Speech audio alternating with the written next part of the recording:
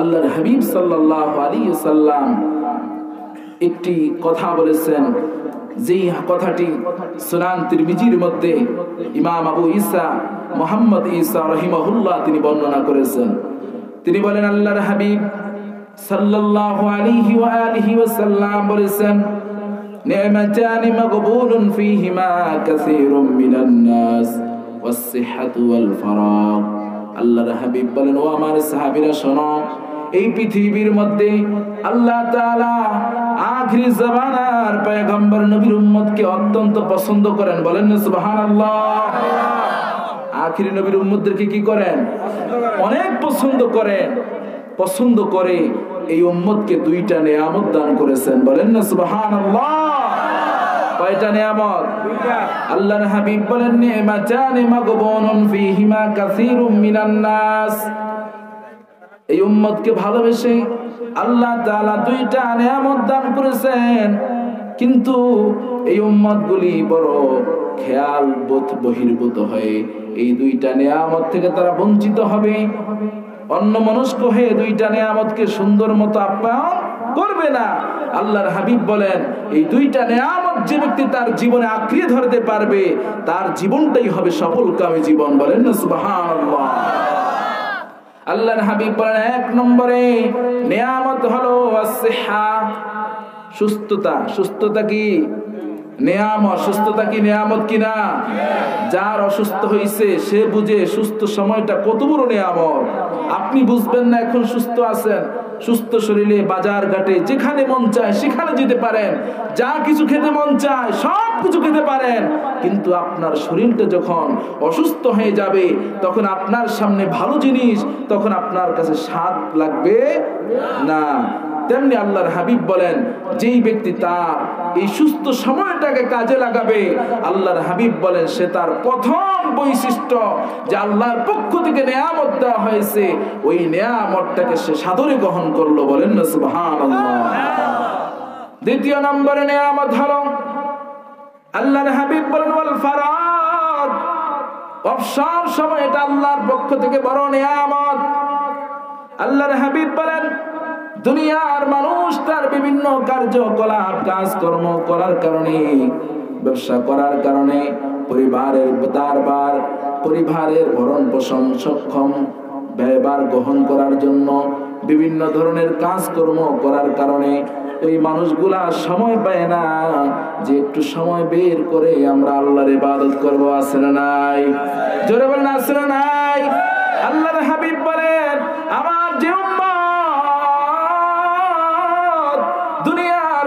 পায় না। দুনিয়ার কাজ করবার করার জন্য নামাজ পড়বে, শুধুমাত্র পাঁচ শক্ত নামাজ আদায় করে।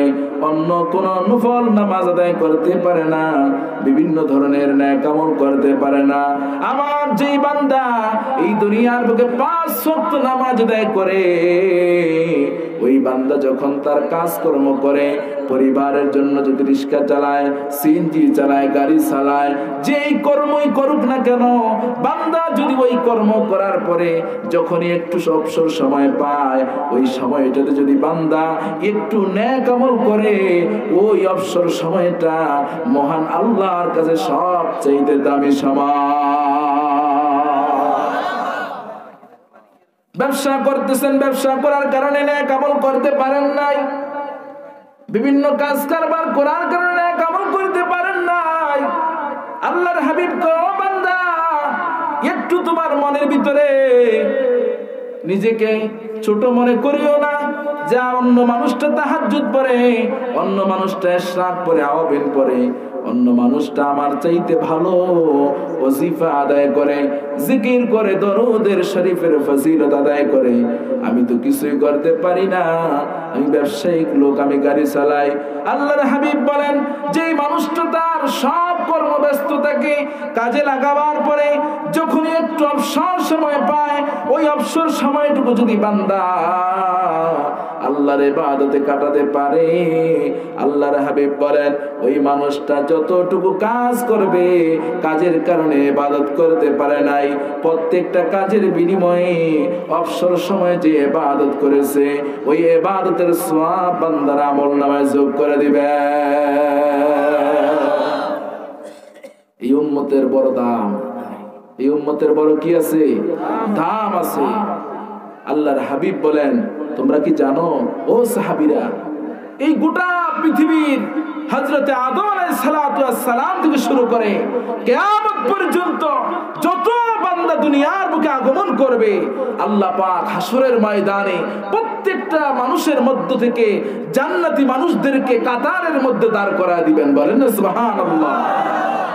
সুনান মধ্যে হাদিস, আল্লাহর হাবিব বলেন, ও ওই হাসরের ময়দানে জান্নাতি মানুষের কাতারগুলি সারিবদ্ধভাবে দাঁড় করায় দিবেন। ওই কাতারের মধ্যে শুধুমাত্র জান্নাতি ব্যক্তিগুলো হাজির হবে। বললেন, ও সাহাবীরা, তোমরা কি জানো ওই জান্নাতের অধিবাসীরা হাসরের ময়দানে যাদের কাতার সারিবদ্ধ হবে, ওই কাতারের সংখ্যা কয়টা হবে তোমরা কি জানো? ওই হাসরের ময়দানে মোট একশত বিশটা কাতার হবে জান্নাতি মানুষের। ওই একশত বিশটা কাতারের মধ্যে হজরতে আদম আলাইসালাম থেকে শুরু করে হজরতে রসুল্লাহ সাল্লাহ আলহি সাল্লাম পর্যন্ত, কেয়ামতের পর্যন্ত যত মানুষ এই দুনিয়ার বুকে আগমন করবেন। প্রত্যেকটা জান্নাতি মানুষের এই একশত বিশ কাতারের মধ্যে আল্লাহ দাঁড় করা দিবে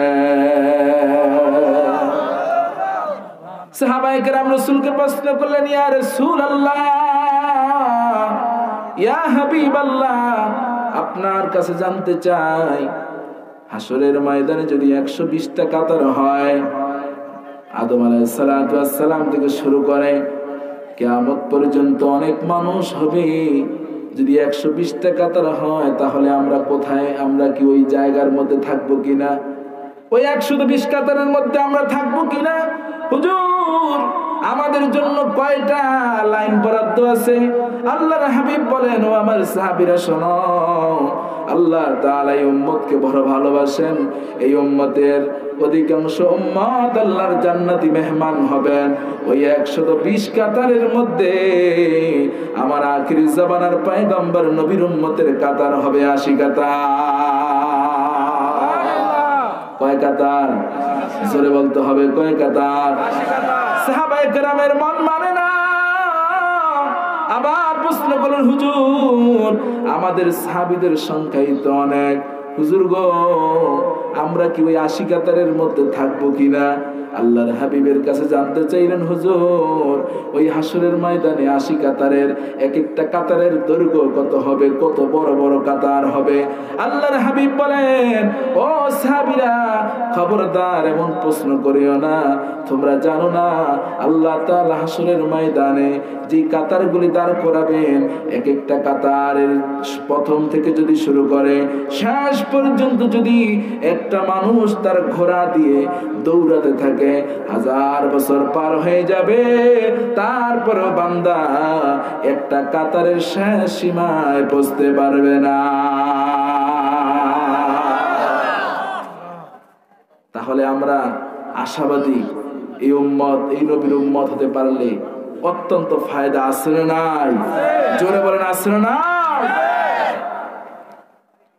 ভাইরা আমার, বন্ধুরা আমার, সুনান তিরমিজির মধ্যে আল্লাহর হাবিবের জবান থেকে একখানা হাদিস কোট করা হয়েছে। আল্লাহর হাবিব বলেন, জান্নাতে যত মানুষ প্রবেশ করবে, ওই জান্নাতে প্রবেশ করার সর্বপ্রথম যারা জান্নাতে প্রবেশ করবে, এরা আর অন্য কোনো মানুষ নয়। এরা আমার আখির জাবানার পায়গম্বর নবীর উম্মত এবং আমার নবী সর্বপ্রথম জান্নাতে প্রবেশ করবে। আল্লাহর হাবিব বলেন কেয়ামতের কঠিন ময়দানে আল্লাহ সর্বপ্রথম আমি রসুলকে অর্ডার দিবেন ও হাবিব। জান্নাতের দরজা এখন পর্যন্ত খোলা হয় নাই। যান যান, আপনি জান্নাতের দরজায় করাঘাত করেন। জান্নাতের দ্বার রক্ষী ফেরেস্তা আপনার জন্য জান্নাতের দরজা উন্মুক্ত করে দিবেন। আর আপনি হাসরের ময়দান থেকে আপনার যারা খাঁটি উম্মত, ওই উম্মতদেরকে বেছে বেছে আপনি আল্লাহ পাকের সারা জান্নাতের মেহমান বানা তাহলে আমরা আখির জবানার উম্মত হতে পেরে খুশি না বেজার? জোরে বলেন, খুশি না বেজার? আখির জামানার উন্মতের বৈশিষ্ট্য কি আমাদের জানা দরকার আছে না নাই? কি কাজ করলে আখির জামানার উন্মত থেকে আমার নামটা মাইনাস হয়ে যাবে, জানা দরকার আছে না নাই? সারা জীবন শুনলাম, আখির জামানার উন্মতের বড় কিন্তু কোন কাজ করলে? আখির জবানার উম্মত থেকে আমার নামটা কেটে যাবে। এইটা আমরা জানি না, কেউ আজ পর্যন্ত। আসুন আমরা কোরআন এবং সুন্নাহ থেকে সেই বিষয়গুলি জানার চেষ্টা করব। কি জানতে চাই, কি চাই না? জোরে বলতে হবে, চাই। আজকের এই বাগান থেকে আমরা কোন কাজ করলে আখির জবান আর পয়গম্বর নবীর উম্মত থেকে আমাকে বিতাড়িত হয়ে যেতে হবে। আমরা ওই পথগুলি জানব এবং ওই পথগুলি আমরা আমাদের জীবন থেকে পরিহার করে আমরা স্বচ্ছ একজন আখির জবানের পয়গম্বরের উম্মত হয়ে জান্নাতি মেহমান হব। আমরা কি রাজি আছি কিনা ভাই? আল্লাহ যেন আমাদের সকলকে কবুল করে, সকল বলি আমি লোক কম হলে আপনারা মনে করেন যে মাহফিলের লোক কম। এটা নিয়ে কোনো ধরনের চিন্তা করবেন না। আল্লাহর জান্নাতে বাগানে সবার সৌভাগ্য অর্জন হয় না। আপনার কাছে ছোট্ট একটি প্রশ্ন করতে চাই। এই দক্ষিণ মণি মণিহার এলাকার মধ্যে বছরে কয়টা মাহফিল হয়? কয়টা? একটাই হয়। আর হয় না? বাংলাদেশে তুলনামূলক ওয়াজ মাহফিল একটু কি হয়? বেশি হয়। তার তুলনায় বাংলাদেশে চাঁদপুরে একটু কি ওয়াজ মাহফিল বেশি হয়, আপনি অবাক হবেন। আপনার এই মনিহারের মধ্যে যদি একেবারে যত বেশি মাহফিল হোক, দশটার উপরে তো মাহফিল হয় না। দশটার উপরে হয়, দশটা মাহফিল হয়। ধরলাম আপনার এক বছরে দশটা মাহফিল হয়। প্রত্যেকটা মাহফিল থেকে যদি আপনি একটা আমল যদি গ্রহণ করতে পারেন আপনি কি জানেন এক একটা মাহফিল আপনার জন্য কেয়ামতের ময়দানে নাজাতের একটি ফাতে হয়ে যাবে। আল্লাহর হাবিব বলেন, ও আমার উম্মত, যেই জায়গায় কোরআন এবং সুন্নাহর আলোচনা করা হয়, ওই জায়গাটা আল্লাহ তাআলা পছন্দ করে জান্নাতের বাগান হিসেবে ঘোষণা করে দেয়। বলেন না, সুবহানাল্লাহ। ভাইরা আমার, বন্ধুরা আমার এই জন্য জান্নাতের বাগানে বসার সবার অংশীদার হয় না, সবার সৌভাগ্য হয় না। কিন্তু জান্নাতের বাগানে আজকে এগুলার মধ্যে ঘুম ধরে গেছে। আইলে এগুলার মধ্যে খারাপ ধরনের কথাবার্তা একজন আরেকজনের বিরুদ্ধে কথা বলে। মানুষকে একটু খোরাক দিবে, আমলের কথা বলবে, এগুলা বলে না, ঠিক কিনা বলেন? আমরা আজকে এখানে কারও বিরুদ্ধে কথা বলব না। আমরা এমন কিছু আমল নিয়ে বাড়ি যেতে চাই, যে আমলের মাধ্যমে আমরা জান্নাতি একজন মালিক হব কি হব না। আমরা কি রাজি আছি? আল্লাহ যেন আমাদেরকে কবুল করে, সকলে বলি আমি আমার, বন্ধুরা আমার, আখির জবান, পয়গম্বর নবীর উম্মত ধরে আল্লাহর হাবিব বলেন, ও গোটা পৃথিবীর মানুষ, শোনো, এই পৃথিবীর মধ্যে আমার আখির জামানার ওম্মতের কত দাম? আল্লাহ তাআলা পবিত্র কোরআনে কারিমে তাদের সম্পর্কে জানায় দিলেন, বিসমিল্লাহির রহমানির রহিম।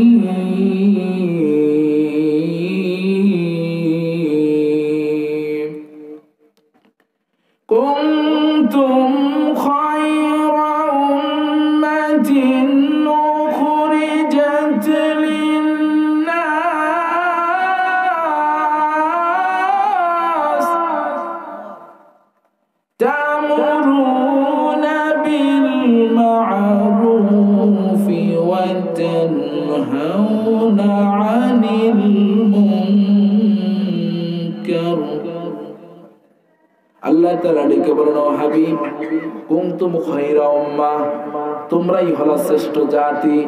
তোমরা হলো কি? শ্রেষ্ঠ জাতি। তোমাদেরকে আল্লাহ তাআলা এই জমিনের মধ্যে পাঠিয়েছেন। তোমরা যেন মানুষকে খারাপ পথ থেকে ফিরিয়ে নিয়ে আসো। মানুষদেরকে যেন ভালো কাজের আদেশ করো। বলেন না, সুবহানাল্লাহ। আখিরি জাবানের উম্মতের দায়িত্ব কি? মানুষদেরকে খারাপ পথ থেকে দূরে সরে আনবে আর ভালো পথে মানুষদেরকে আহ্বান করা।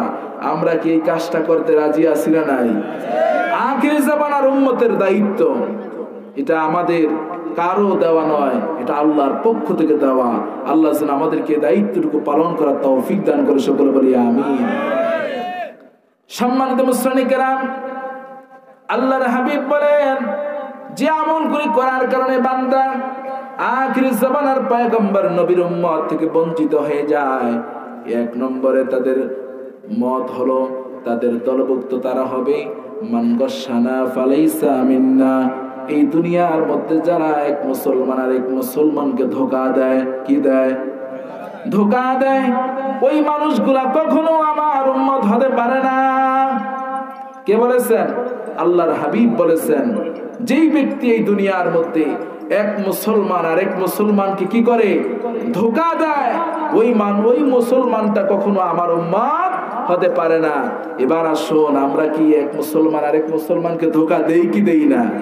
জোরে বলতে হবে, আমরা কি ধোকা দেই কি দেই না? ধোকা দিলেই তাহলে বুঝতে হবে আমরা আখির জাবানার উম্মতের দাবিদার হতে পারলাম না। আমরা কখনো এক মুসলমান, আরেক মুসলমানকে ধোকা দিতে পারি না। অর্থ হোক, ব্যবসা হোক যে কোনো কারবারে হোক, কথা দিয়ে হোক, কোনোভাবেই যেন আমরা কোনো মানুষের, কোনো মুসলমান যেন আরেক মুসলমানের সাথে কখনো যেন এইভাবে ধোকা না দেয়, আল্লাহ যেন আমাদেরকে কবুল করে সকলে বলি আমি ভাইরা আমার, বন্ধুরা আমার, ইমাম বুখারি রহমতুল্লাহ তিনি আল্লাহর হাবিব সাল্লাল্লাহু আলাইহি ওয়াসাল্লামের হাদিস সংগ্রহ করেছেন, তিনি কিতাব লিখতে গিয়ে লিখেছেন সহিহুন। আমার এই কিতাবটা হলো সহি একটি কিতাব। আবু দাউদের মুকদ্দমার মধ্যে আছে যেই কিতাব লিখতে গিয়ে লেখক যদি বলেন আমি আমার কিতাবের মধ্যে সহি হাদিসগুলো জমা করব। ওই হাদিসের কিতাবকে বলা হয় আল কিতাব সহি সহি কিতাব বলা হয়। ওই কিতাবটা হলো সহি কিতাব। যেই কিতাবের মধ্যে লেখক লিখতে গিয়ে, হাদিসগুলো উল্লেখ করতে গিয়ে বলেন, আমি আমার হাদিসের মধ্যে, কিতাবের মধ্যে কোন হাসান হাদিস গ্রহণ করব না, গরিব হাদিস গ্রহণ করব না। আমি শুধুমাত্র আমার কিতাবের মধ্যে সহি হাদিসগুলাই আমি গ্রহণ করব। তাহলে ওই কিতাবকে বলা হয় সহি কিতাব। ইমাম বুখারি রহমতুল্লাহ আলাই এই সহি হাদিসগুলি যাচাই করার জন্য, বাছাই করার জন্য, গ্রহণ করার জন্য বিভিন্ন এলাকায় ভ্রমণ করতেন, সফর করতেন যে কোথায় গেলে আল্লাহর হাবিব সাল্লাহ আলিহি ওয়াসাল্লামের সহি হাদিসগুলো গ্রহণ করা যায়। ইমাম বখারি রহমতুল্লাহ আলাই একটি ঘটনা পাওয়া যায়। হজরত ইমাম বখারি রহমতুল্লাহ আলাই তিনি রসুল্লাহর হাদিসকে গ্রহণ করার জন্য, হাদিসকে মোবারককে বিভিন্ন দেশ থেকে, বিভিন্ন এলাকা থেকে, বিভিন্ন মানুষ থেকে গ্রহণ করার জন্য তিনি যখন ভ্রমণ বের হলেন, তিনি এক খুঁজতে খুঁজতে একবার এক লোকের সন্ধান পেলেন। যেই লোকের বাড়ি অনেক দূরে, ইমাম বুখারি রহমতুল্লাহ আলাই বহু কষ্ট করে তার একজন খাদেম নিয়ে ওই মানুষটার কাছে যে হাজির হলেন, যে তার কাছ থেকে নবীর একটি হাদিস গ্রহণ করবেন। নবীর একটি হাদিসকে গ্রহণ করে তিনি তার কিতাবের মধ্যে জায়গা দিবেন। ইমাম বুখারি রহমতুল্লাহ আলাই বহুদূর সফর করার পরে যখন তিনি ওই রসুল্লাহর হাদিস যার কাছে আছে, তার কাছে যখন গেলেন, তিনি গিয়ে দেখতে পেলেন লোকটি তার হাতের মধ্যে একটি পাত্রে, পাত্রের মাধ্যমে তার ঘোড়াকে ডাকতেছেন। ঘোড়াকে মানে এমন ভাবে ডাকতেছেন যে পাত্রের মধ্যে মনে হয় কিছু খাবার আছে। ঘোড়া ওই খাবারের সন্ধানে তার কাছে আসবে। লোকটি তা ওই ঘোড়াটাকে আক্রমণ করে, আবদ্ধ করে রাখবেন, আটকিয়ে রাখবেন। এই উদ্দেশ্যে লোকটি ওই পাত্রের মধ্যে কোনো খাবার না দিয়ে খালি একটা পাত্র দিয়ে ঘোড়াটাকে ধোকা দিচ্ছেন। কি করছেন? ধোকা দিচ্ছেন। ইমাম বুখারি দূর থেকে তাকায় দেখলেন, লোকটি তার ঘোড়াটিকে ধোকা দিচ্ছেন। কেননা আপনি একটি ঘোড়াকে খাবারের লোভ দেখিয়ে আপনার কাছে আনতে চাচ্ছেন, কিন্তু আপনার পাত্রের মধ্যে কোনো খাবার নাই। তাহলে তো আপনি একটা পশুর সাথে কি করছেন? ধোকা দিচ্ছেন। ইমাম বুখারি রহমতুল্লাহ আলাই অনেকক্ষণ যাব লোকটির দিকে অবলোকন তাকালেন। দেখলেন লোকটি পাত্রের মধ্যে কোনো খাবার না নিয়ে ওই ঘোড়াটাকে বারবার ডাকতেছেন। ঘোড়াটা যখন তার কাছে আসলো ঘোড়াটার গলায় ধরে লোকটি বাড়িতে নিয়ে গেল। ইমাম বুখারি রহমতুল্লাহ তিনি তার কাছ থেকে হাদিস গ্রহণ করে নাই। তার লোক তার পাশের যে সহযোগী নিয়েছিলেন, তিনি ডাক দিয়ে বললেন, ও আবু আব্দুল্লাহ মোহাম্মদ ইবনে ইসমাইল তুমি তো বহুদূর সফর করে আসছো। লোকটার কাছে রসুল্লাহর একটি হাদিস জমা আছে। কিন্তু তুমি কেন তার কাছ থেকে হাদিস গ্রহণ না করে? আবার বাড়ির দিকে রওনা করেছ। ইমাম বখারি রহমতুল্লাহ আলাই বলেন, ও আমার সহযোগী আমার সাথী, তুমি কি দেখো না এই লোকটা তার ঘোড়াটাকে বিনা খাবারের পাত্রে তার ঘোড়াটাকে আহ্বান করে, ঘোড়াটাকে ধোকা দিয়ে ঘোড়াটাকে নিয়ে বাড়িতে রওনা করেছে। যে লোকটা একটা ঘোড়াকে ধোকা দিতে পারে, একটা পশুকে ধোকা দিতে পারে, ওই লোকটা আমার রসুলের হাদিসের ব্যাপারে ধোকা দিবে না। এ ব্যাপারে আমি কোনোভাবেই মনের মধ্যে আমি কি করতে পারি নাই? বিশ্বাস করতে পারি নাই। এজন্য আমি তার কাছ থেকে হাদিস গ্রহণ করব না। আল্লাহ আকবার। এজন্য ধোকা যে ব্যক্তি দেয়, ওই ব্যক্তিকে আল্লাহ পছন্দ করে না। আল্লাহ তাআলা তার হাবিবের মাধ্যমে জানায় দিলেন, ও হাবিব, আপনি আপনার উম্মতদেরকে বলে দেন, মান গসানা, ফালাইসা যেই ব্যক্তি তার এক মুসলমান আর এক মুসলমানকে ধোকা দেয়। ওই উম্মতটা কোনোদিন আমার আখরি জাবানার পয়গম্বর নবীর উম্মত হতে পারে না। বলেন না নাউজুবিল্লাহ আমাদের মধ্যে ধোকা আসে নাই? জোরে বলেন, আসে নাই? আমরা সন্তানকে বলি ও বাবা বাজারে যাচ্ছি, তোমার জন্য ভালো খেলনা নিয়ে আসব। কি বলি কি বলি নাই? সন্তানকে বলি, আবার বাড়িতে যখন আসি, খালি হাতে আসি, সন্তানকে আমরা এই ধোকাটা দিচ্ছি আমার সন্তান কি আমার কাছ থেকে এভাবে করে শিক্ষা গ্রহণ করবেন? আল্লাহর হাবিব বলেন আল ওয়ালাদু সিররুল ইয়াবির সন্তান হয় পিতার নমুনায়, পিতার আদর্শ সন্তান বড় হয়। আপনি যেমন কর্ম করবেন সন্তানের সঙ্গে, আপনার ছেলেটা, আপনার মেয়েটা তেমনই আচরণ শিখতে থাকবে আপনার কাছ থেকে। এজন্য আল্লাহর হাবিব বলেন, ও বাবা, তুমি আগে পরিবর্তন হও, তোমার সন্তান অটোমেটিক পরিবর্তন হয়ে যাবে। বলেন সুবহানাল্লাহ।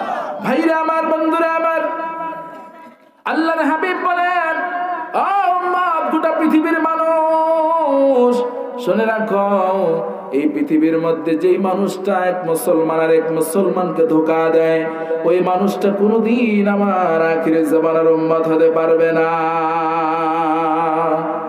দ্বিতীয় নম্বর, আল্লাহর হাবিব বলেন, ও আমার উম্মত, এই পৃথিবীর মধ্যে যেই ব্যক্তি আমার সুন্নতকে অবজ্ঞা করে, ওই ব্যক্তি কোনোদিন আমার উম্মত হতে পারে না। ওই ব্যক্তি তো আমার আখিরে জামানার উম্মত না হবার কারণে কামতের কঠিন ময়দানে ওই উম্মতের জন্য জান্নাতের কোনো গ্যারান্টি নাই। আরে ভাইরা, আমার বন্ধুরা, আমার আল্লাহর হাবিব আমাদেরকে আমল শিখা দিয়েছেন, আমরা আমল করতে জানি না।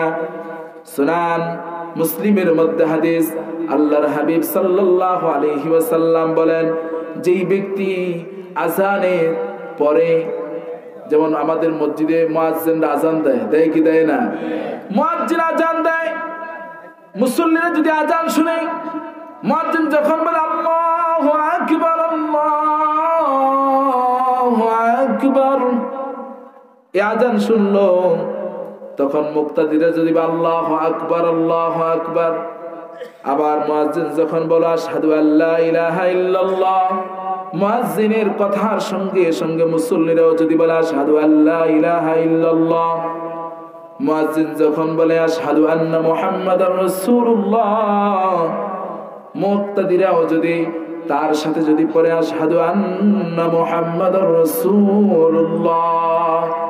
মুয়াজ্জিন যখন বলে, হাইয়া আলাস সালাম, মুক্তাদিরা যদি বলে, লা হাওলা ওয়ালা কুওয়াতা ইল্লা বিল্লাহ মুয়াজ্জিন যখন বলে, হাইয়া আলাল ফালাহ মুক্তাদিরা যদি বলে আবার মুয়াজ্জিন যখন বলে, আল্লাহ আকবার আল্লাহ আকবার মুয়াজ্জিনের কথার সঙ্গে সঙ্গে মুক্তাদি যদি বলে, আল্লাহ আকবার আল্লাহ আকবার আবার মুয়াজ্জিন যখন বলে, লা তখন সাথে সাথে যদি মুক্তাদি হয়ে পড়ে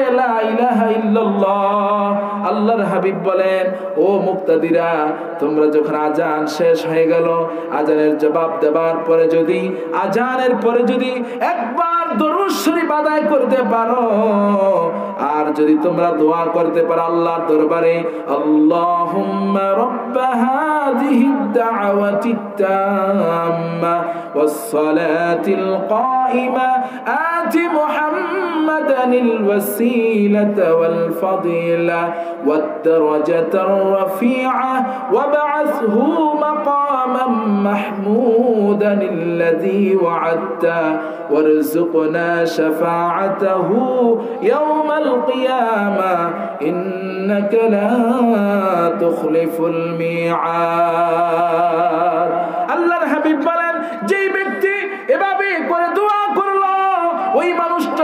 শেষ হয়ে গেল।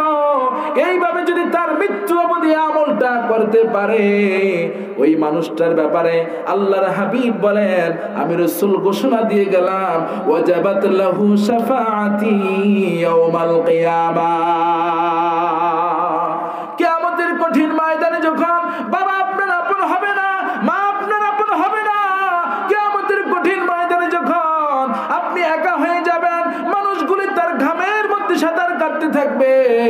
সহি বুখারী, সুনান তিরমিজির মধ্যে ময়দানে মাঠে তার নিজের আত্মার, নিজের আমলের ভয়ে এমন বেশি শরীরের মধ্য থেকে ঘাম দিতে থাকবে। ঘাম দিতে দিতে বান্দার ঘামের কারণে হাসরের ময়দানে গলা পরিমাণ ঘামের দুর্গ হয়ে যাবে। কতটুকু? গলা পরিমাণ ঘাম। এই ঘামের মধ্যে বান্দা সাঁতার করতে থাকবে। আল্লাহর হাবিব বলেন, ওই মুহূর্তে যেই ব্যক্তিগুলা মহাজিনের আজানের জবাব দিল আজানের পরে যেই ব্যক্তি